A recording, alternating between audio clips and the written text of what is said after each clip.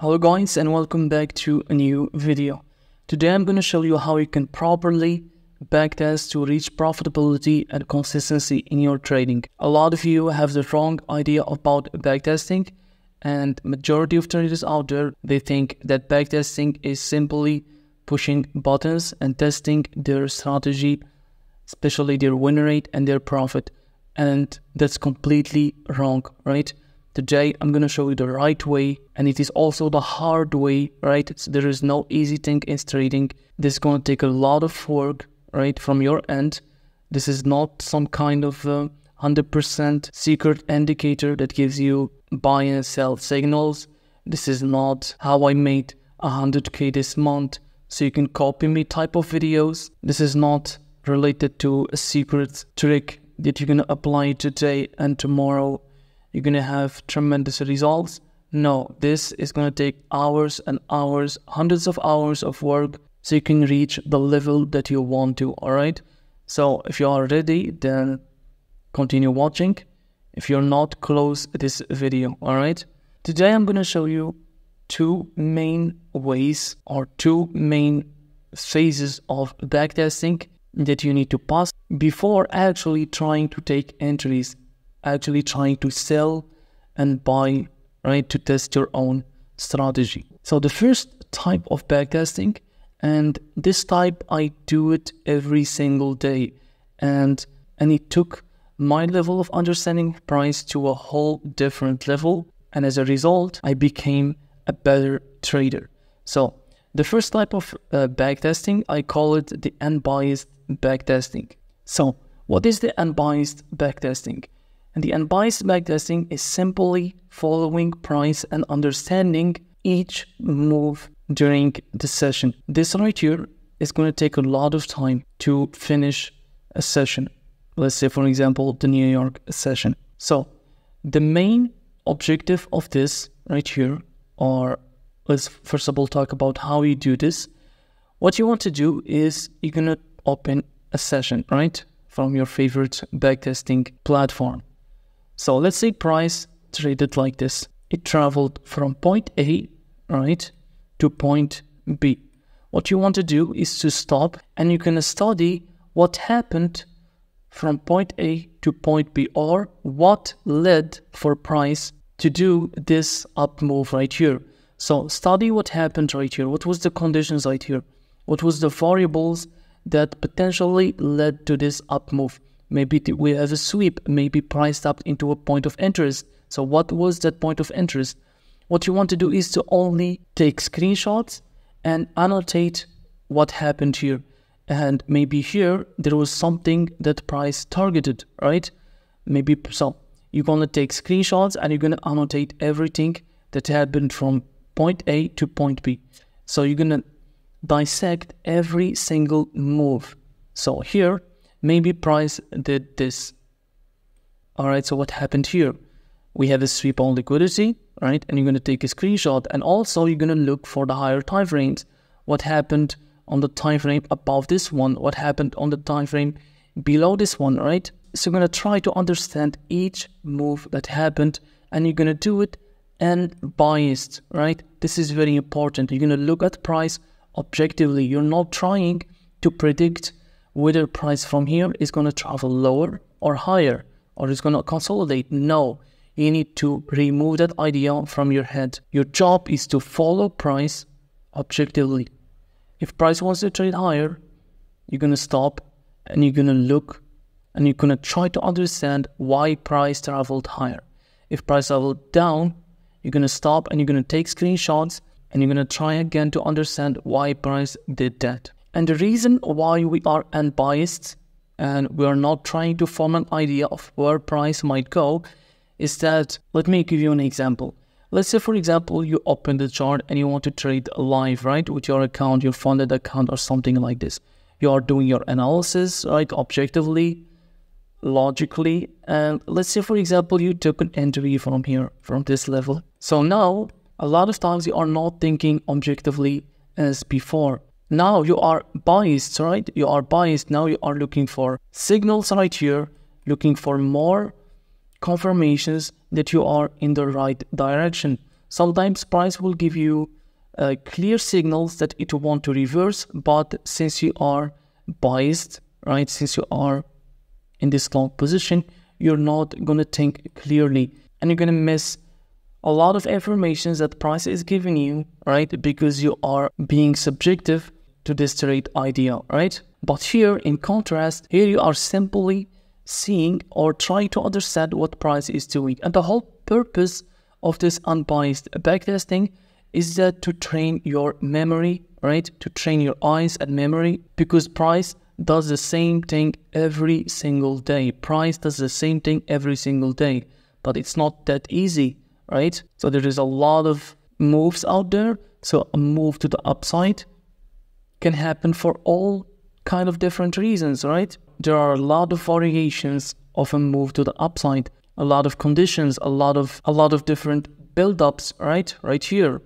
different targets. So what you want to do is you train your memory and the next time you see a setup and next time you see maybe a move, maybe something like this, and since you have seen it hundreds of times before, all right, so you tell yourself, I have seen this before. When I see condition A and B and C in this specific point of interest, right, and then price traveled higher into this specific point of interest, and there was the, the condition X and Y and C, then most of the times price will reject and trade lower. You concluded this by seeing this whole move, this whole setup, this whole formation many times using the unbiased backtesting. So, and it looks something like this. So I have a sample.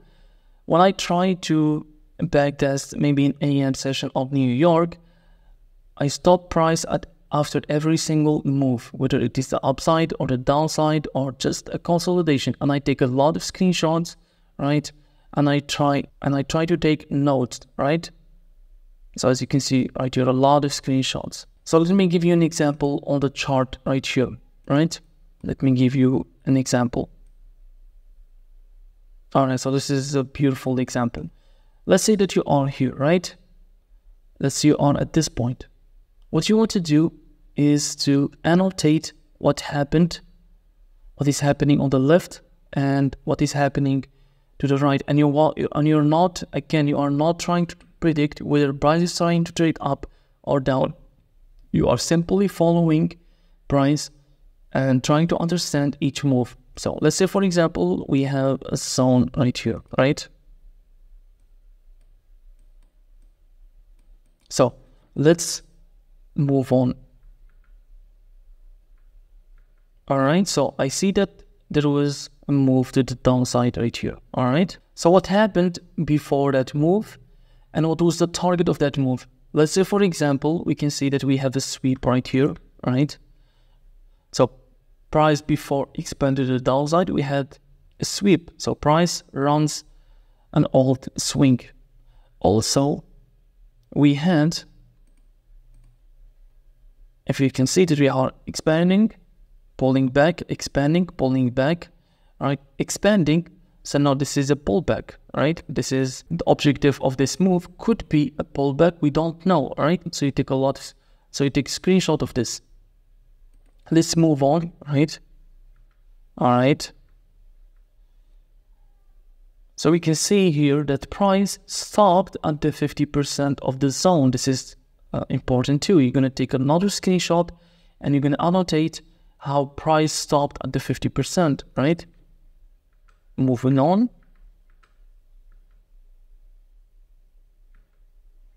All right, so we can see that there is a move to the upside. So what happened before or what is the origin of this move and the target? So we can see that, all right, we are at the 50% of this zone. And we can see also that before that move to the upside, we swept this low right here, just like it happened right here. All right, so this is interesting. This is, maybe this is a recurring pattern, right? So let's, uh, and also you can see that price rejected from another zone, right? All right, so let's, and also the 50%, right? Let's moving on. Okay, we traded now to the upside and we can see, all right, so this is my model, right? We can see that we traded above this, return back to this candle. This is a CSS confirmation. So I'm I'm I'm backtesting based on the concepts I learned from DTFX. If you are an ICT student, for example, that you're gonna backtest based on ICT concepts. All right. So this is not a strategy uh, specific, right? It works on everything. So a move to the upside happened, return back, traded to the upside, so rejected from this candle, and now we are trading to the downside. And you're gonna stop right here. So why this move happened, what happened here, and why we are trading to the downside. So basically what you want to do is to wait for the move to stop. Okay, maybe here we have a rejection, and now you're gonna work with this move to the upside. Alright, so this takes a lot of time I take around two hours non-stop if I'm backtesting non-stop to finish an AM and a PM session, right? Sometimes it takes up to four hours if I'm taking some breaks. But it is worth it, guys. You are training your memory to see recurring patterns. You're not trying to predict price. You are simply following price. You are enhancing your price reading skills and this is going to help you tremendously in the future believe me i do this every single day right because sometimes when you're trading live and you see some move to the upside or the downside i'm telling you that using this type of backtesting you're going to know exactly what will happen next because you have seen it hundreds of times before with that with those specific conditions so from here we can see that we swept this, all right? So this happened a lot of times. You can notice that the move to here to here, we had the sweep before that, here also, and we are also on zones, right? So here we had the sweep and we were trading to the downside, right? Here price stopped. So why price stopped right here? Okay, what do we have to the left? We have a zone, right?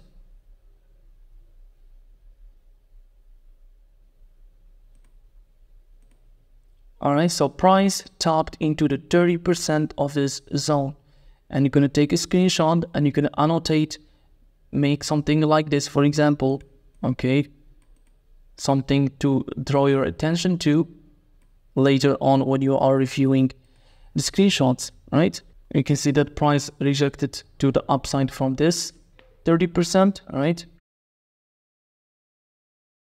now you stop and you're going to study this move to here from point A to point B. We can see that price rejected now from this zone right here, right? All right, so let's keep uh, moving on price. You're to stop right here and you're to study now this move, right? And so on and so on. I'm not to tape read the whole session, but as you can see, from here to here, this is to take you like a solid 15 minutes of backtesting for this for this simple uh, price action, right? But doing this every single day, again, it will take your training to the next level, to the absolute next level. Now, the second type of backtesting, I call it the statistical backtesting. So let's say that you don't have a model, right? You are a beginner, to a certain trading concept and you don't have a model yet. Using this unbiased backtesting, you're going to see something that repeats every single time and you're going to relate to, right? You have something, so maybe you find something that repeats, right? A pattern or a formation that when you have condition A, B, and C present at the origin and the target, there is condition D and E, right? Then there is then price is likely to trade lower rather than trade higher, right? Price trades lower more than it trades higher when you see these five conditions three on the origin and two at the target.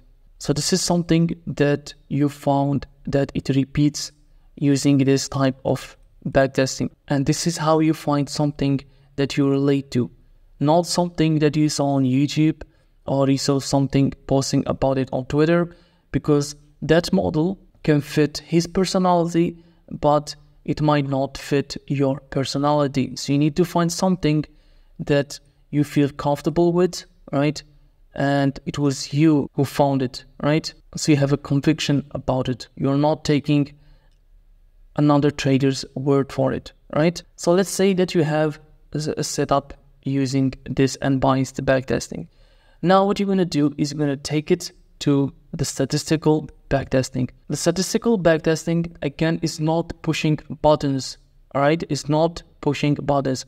All you're going to do right here is going to open up trading session, right? The AM and the PM session. If you trade London, you're going to use London. You don't use New York. You don't use New York. You only use London. If you trade in the New York session, you're going to use the New York session, right? So what you want to do right here is you want to collect every single data about this model that you've found right here. And you're going to log it into a trading journal. I already made a video on how you can use or how you can create a trading journal, a detailed trading journal. So some of the statistical data that you're going to extract using this one right here is what are the conditions. For example, how many times the setup will present itself per day. So this is very important, right? Let's say that you trade on the one minute, you want to find how many times the setup presents itself. If the setup presents itself like three times or four times per uh, trading session, and you have extracted that from a lot of days, right? Not just like a week or a month, but at least five or six months of data, and eventually you found that the setup will repeat itself four times, the average of four times per trading session, then you can expect when trading live the frequency of the setup and how you can manage the risk using this one right here and what are the daily targets and what are your daily goals, right? And also it will help you with FOMO, the fear of missing out. So you know that you will likely to have four trades per day and there is no need to chase A minus setups, right? One more thing that you're gonna need to extract from this type of backtesting is the conditions, guys. Very, very important, or the variables. Let's say that setup um, happened right here, right? And let me give you an example. The setup is a simple sweep, right? So like this, adding trading to the downside. So what you want to do is to look for variables, let's say for example, price tapped a point of interest. So what is the type of that point of interest? What is the level of that point of interest that price tapped into? Is it the 50%? Is it the 70%? Right? What were the conditions on the downside? Did we have equal lows? Did we have imbalances? Did we have both? What about the higher time frame? Is the higher time frame is trading to the downside or is it trading to the upside? So is this a continuation to the downside or is this is a simple pullback, right? And what you want to do is to analyze these um, conditions, these variables, and see which combination of variables will give you the best result, right? And it's going to take a lot of time. This is the refinement process of the model. Also, you're going to extract the average stop loss, right? The average TP. Let's say, for example, the model will most of the times gives you 1R or 2R or 3R. If the model gives you 1R, what is the win rate let's say for example it is an 80% win rate if the model give you 2r let's say it's like 70% now the win rate which one will give you the best uh, accumulated r right? And remember that you're going to extract all of this in hindsight. You're not trying to push buttons or predict anything. You are simply extracting these informations from hindsight charts. Now, the end goal of this statistical backtesting, and you're to use this on at least five or six months of data, right? And remember, you don't want to mess around with the time frames. If you're going to use the one minute as your execution, you're to use the 15 minute as your hard time frame and the five minute for the link between the two, right? Don't go to the one hour, don't go to the five second. You need to choose one time frame and you're going to stick to it. A combination of time frames and you're going to stick to them. Else or else, a lot of things will uh, change, like the, for example, the average stop loss and the frequency of the trades per day, right? So you're going to need to choose fixed combination of time frames. So the end goal of this statistical backtesting is to come out with a trading model, right? A training model with variables, all right? So these are the optimal variables that you have found. So when you see condition A, condition B, and condition C and condition T present, this will give you, let's say, 75% win rate, right? The model, when we see this combination of conditions, it will give you 70, it will work 75% of the times, right? Remember that we have collected this, this win rate with hindsight backtesting. Now, you're going to move on to the third type of backtesting, which is live backtesting, right? We are still not trading live money, right? We're still with the backtesting process. So, what is live backtesting? Now you can go to a trading platform or that allows you to actually take entries and going to start executing that model, right? Whenever you see those conditions on the chart, you're going to take an entry and you're not trying to cheat or anything, all right? When you miss a setup, don't try to rewind the tape and take the trade. No, you want to trade like you are trading with live money. And you will not have this right here. You will not have this win rate.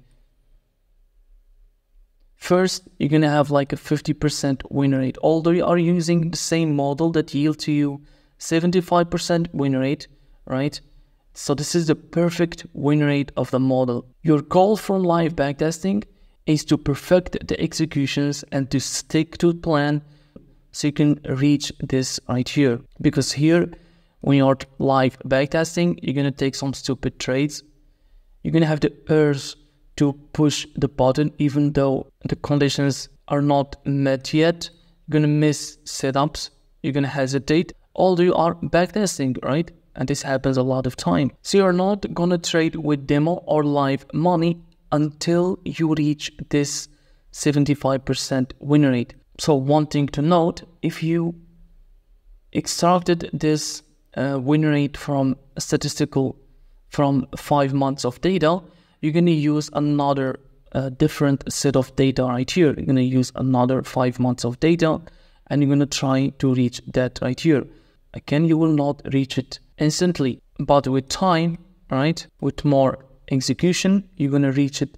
You're going to finally reach the perfect win rate. Now, only then, when you reach this, now you can go to demo trading.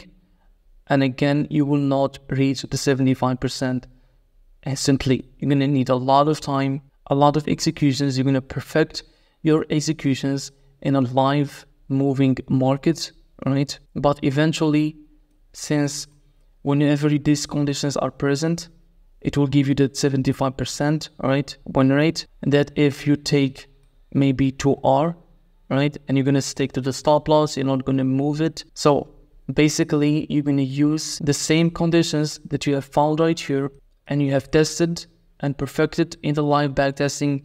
You're going to use it in the demo trading, right? And with time, your psychology would be better because you will understand that whenever you break the rules, you're going to take losses, right? So eventually, you're going to try to stick to these conditions right here. Eventually, you're going to reach this 75%. And finally, you're going to go to live market conditions, right? I talked a lot, but believe me, guys, these are the steps that every single trader that I know, a profitable trader, real profitable traders, not marketers, they went through this.